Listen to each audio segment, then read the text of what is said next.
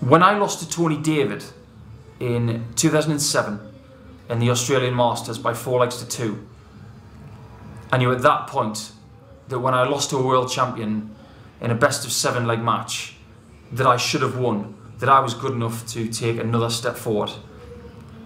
Coincidentally, that day I found a set of darts that I was really happy with. I practiced for two months straight with those darts and I realised I could be a world class player from there and I proved it over the next 18 months.